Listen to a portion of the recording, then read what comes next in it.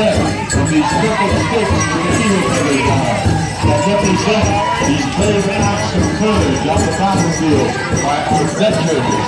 These veterans that served in the military to fight for freedom, the freedom we sometimes take for granted, but at times like this, we definitely appreciate. Yeah, hey, hey, hey, hey, hey, hey, hey, hey, hey, hey, hey,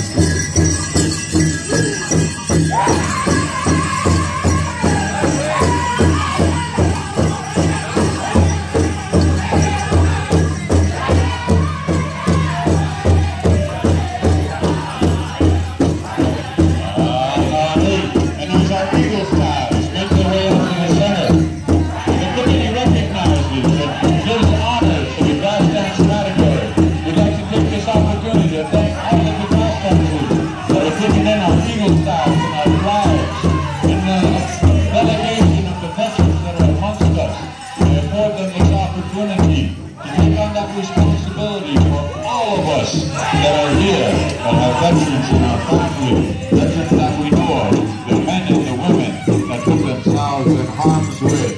Well, good guys, and at this time, ladies and gentlemen, we're going to welcome in